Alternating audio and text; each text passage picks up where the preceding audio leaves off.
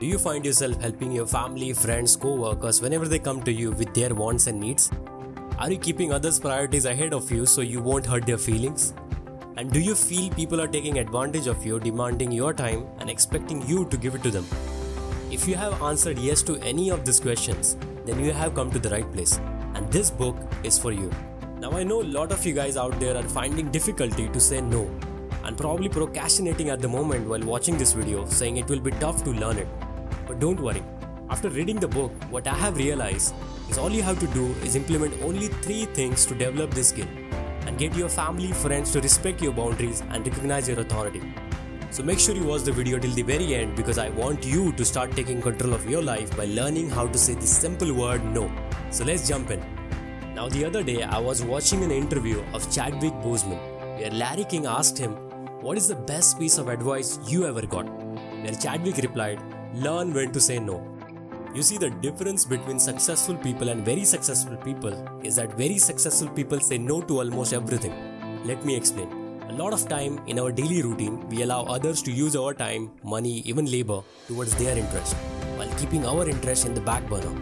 In the end, you feel disappointed in yourself and people who ask for help.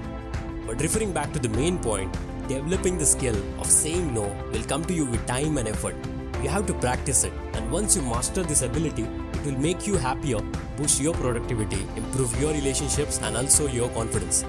In addition, your family, friends, neighbors will place more excellent value on your time and they'll see you as a leader rather than a follower. So, here's what you need to do. Starting off, we have step number one being assertive while saying no. Means having self confidence to express what you want without leaving a room for confusion. Sometimes some people won't take no for an answer. In such cases, you need to become assertive. For instance, suppose a friend asks you to take him to the airport. And if you have other commitments, being assertive means telling him no with an honest reason, even if it makes him react poorly. In reality, the problem I have found is being assertive and being aggressive are often confused as being similar. Being assertive means listen to the other person, once finished, share your opinion. Being aggressive, on the other hand, means interrupting the other person, speak over him or her, where you end up replying in a hostile or inconsiderate manner. In short, learn to share your point of view without need of others' approval. Which brings us to the next point, which is do not feel guilty while saying no.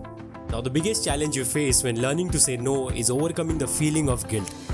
A lot of us were raised to believe that saying no is rude and egocentric, so we end up saying yes to everyone around us. Now let's take a quick detour to help you understand why we avoid saying no. First, we want to avoid offending people because we feel some people might take it as offense. Second reason, we want to avoid disappointing people because we can't stand to see sad look on their face. Next reason is we want to avoid seeming selfish because we feel they should look at us as a kind, caring and helpful individual. The fourth reason is we desire to help others because it feels good even after ignoring our own needs and responsibilities. And the last reason is we struggle with low self esteem. It's important to recognize this effect because we feel our time and worth is less than others' interest. So make sure you don't feel guilty before saying no to others' request of help.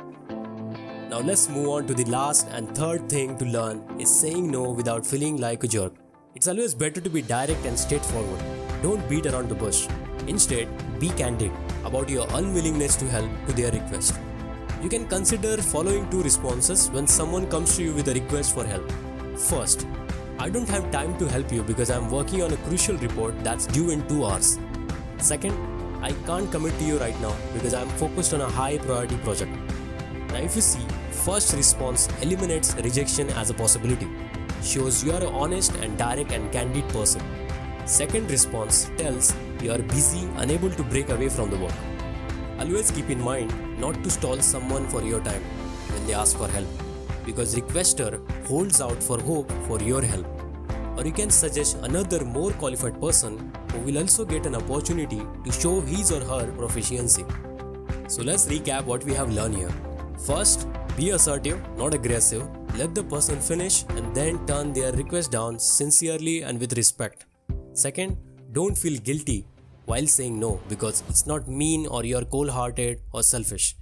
Third, be direct and straightforward. Give an honest reason for turning down the request of help. To summarize, the art of saying no is not intent to address or resolve any emotional issues. It's actually to help you become more assertive and overcoming the impulse of saying yes to everything. You will realize saying no with purpose and grace will give you confidence to move forward without guilt or any disappointment. In short, saying no to any request which is going to cause you more harm than good. And that's it. Make sure you practice more on how to get better at saying no because if you can do this, you will find more happiness in life and you will also be able to avoid unnecessary pain and suffering. I hope you guys found this video helpful. Thanks for watching. See you in the next video. Bye.